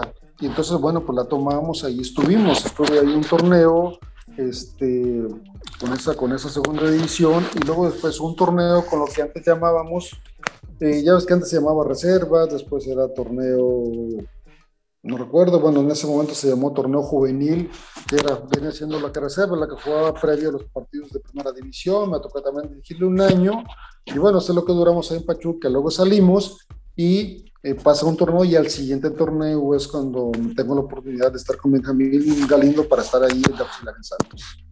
¿Y te gustó mucho esa experiencia y la aprovechaste bien, mi querido Marcelino? Sí, sí, no, no me gustó, me gustó, es una cosa bueno que llamaba la atención y bueno, pues a veces uno siente que tiene la capacidad, uno cree que tiene los, los, conocimientos y bueno, pues no queda de otra más de que pues desengañarte, ¿no? Realmente saber si puedes o no puedes, pues, hay, que estar ahí. Ya te, ya te estabas preparando para entrenador, luego te toca la experiencia en Hermosillo, estuviste, estuviste en Monterrey, estuviste en Los Cabos, ¿no? También. Estuve en Tampico. En Tampico también, o sea, tuviste buenas experiencias. Pero una pregunta, Marcelino. Un jugador mundialista, eh, que, exquisito y de resultados en clubes, que es bien querido a la fecha, es muy querido, muy recordado. Eh, no cierran, no se cierran mucho las oportunidades a veces por ser mexicano, sinceramente, como entrenador, como que no hacen un viraje los clubes hacia lo que se ha forjado aquí, de que se ha formado, que le han dado al fútbol, que lo conocen, que se preparan y, son muy pocas las oportunidades. Sí, yo siento que sí, son pocas, pocas oportunidades. Pienso que la primera opción siempre es voltear al extranjero y no lo que tienen, no lo que tienen en casa, ¿no? Y yo lo que te comentaba hace rato, dale la oportunidad, si no funciona, bueno, pues adiós, entonces ya piensa en otras, otras alternativas, ¿no? Pero bueno, desafortunadamente no se dan así las cosas y bueno, pues lo vemos año tras año, lo vemos en el fútbol mexicano. Extraordinario. Oye, una carrera plagada de éxitos plagada de éxitos. Pero quiero preguntarte primero, bueno, ya en el Mundial, en Mundiales o Juegos Internacionales, ¿cuáles fueron los marcajes más complicados que tuviste para ir, a hacer, ir haciendo el cierre? ¿Cuáles? Como acá ya me dijiste, pues marcar en México a Benjamín Galindo, a Antonio Carlos Santos en la liga doméstica, a nivel internacional, ¿cuáles fueron tus principales retos? Híjole. Muchos. Pues muchos, pero bueno, uno de los que me tocó marcar y bueno, pues que era, que siempre fue muy, muy, solamente una vez jugué contra él, que me tocó, este, la verdad que se hizo un jugador muy complicado a Zidane, se hizo un jugador. Un ¿no? Sí, sí, sí, sí, sí, un fuera de serie, un fuera de serie. Ese fue de tus principales retos, de las marcas que más disfrutaste, la de Zidane. Sí, sí, sí, de las más que más disfruté, porque bueno, pues, no siempre tienes la oportunidad de enfrentar de gente de este nivel y, bueno, pues ver ahí, ahora sí que de repente te hacen ver tu suerte, ¿no? no, pues, oye, Marcelino, ese mundial fue una gran vitrina. ¿Sentiste que te pudiste haber ido al extranjero? ¿O la edad eh, complicaba? Yo pensé que se complicaba, pero pienso que a pesar 94 pudo haber sido. ¿Verdad? haber sido, pienso que, se tuvo un buen mundial y bueno, se pudo haber eh, podido dar una, una, una, una, posibilidad, una oportunidad para poder este, probar suerte y ver, y ver realmente de qué estamos hechos. Oye, una carrera plagada de éxitos tiene pocos, pero unos a veces muy significativos momentos de tristeza. Si yo te digo club, selección, lo que sea, tu momento más triste, Eh, selección, la derrota con Bulgaria. Esta, te la sentiste muy cerca al pase a la siguiente fase. Sí, sí, sí, ese, ese, pequeño escaloncito estuvimos ahí, este, y bueno, pues en, el, en general en el fútbol, pues eh, mi lesión, mi lesión creo que en el momento que mejor andaba fue cuando vino esa lesión, esa, esa, esa ruptura de mi ligamento, eso fue algo que que cortó ese, esa inercia, ese ritmo que yo, que yo traía, pero bueno, eh, son gajes del oficio, el fútbol así es, los deportes así son, y bueno, pues es que dicen, yo he escuchado mucho que dicen, no, es que se lesionó cuando menos esperaba, pues no, yo nunca esperé lesionarme. Nunca. Nunca lo esperé, ni, en el mejor momento, ni en el, en el, peor momento que estaba jugando. Nunca lo esperé, pero bueno, pues son cosas este, que sabemos que estamos expuestos a ellos y que bueno, pues que pueden suceder. Y bueno, desafortunadamente a mí, me, me sucedió y me sucedió en un momento quizás menos oportuno. Oye, eh, momentos, más difícil ahora, momentos, el mejor momento, el más emocionante de tu carrera, platicábamos Barbie, tú y yo, de que ese gol no lo olvida nadie, ese gol ante Italia, pero ahora tú dinos, ¿cuál fue el momento más emocionante de tu carrera? Fíjate que tuve varios. Sí, yo sé que sí. Es, ese, ese, ese, ese, ese, ese gol contra Italia, bueno, definitivamente bien marcado. Pero fíjate que ese gol, ese, e, ese gol que te digo que metí en el repechaje jugando con Pachuca contra Morelia para pasar a lo que era Ligue también fue algo muy emocionante, algo que me marcó dentro, en lo personal. Digo, es algo de los datos recuerdos emocionantes que, que, me pasaron. Oye, Marcelino, lo mejor, la mejor, es bien difícil, pero para cerrar, la mejor media cancha con la que te sentiste más cómodo en tu vida. Híjole. pues esa de 94 y la de Puebla estaban espeluznantes. Sí, es que eso te iba a decir, es que son esas dos, para mí las más, este, eh, buenas, mejores, espectaculares, porque bueno, cada uno tenía. García Mortero, Chepo, híjole. El caballo cosío, ¿no? También era. Eh, pero era más burrito, era más burrito. Oye, burrito ahí más o menos. No, no, mira, es que a lo que voy es que son, ya en serio, son cuestiones y cualidades diferentes, ¿no? Eh, caballo era un, un, jugador que no se cansaba, iba y venía, este, y dentro, desde mi punto de vista, eh, con el balón no era demasiado este, apto para, para hacerlo, para, para, hacerlo, ¿no? Pero sí, esos jugadores necesarios en un equipo que te corre todo el partido, que te recupera balones, este, y esos pues son importantísimos. Pero sí, pero en el aspecto de, de, de hacer el cambio hacia la ofensiva, ahí es donde le costaba un poco. Oye, ¿qué opinas? ¿Qué, le dirías ahorita a la afición de Puebla? Híjole.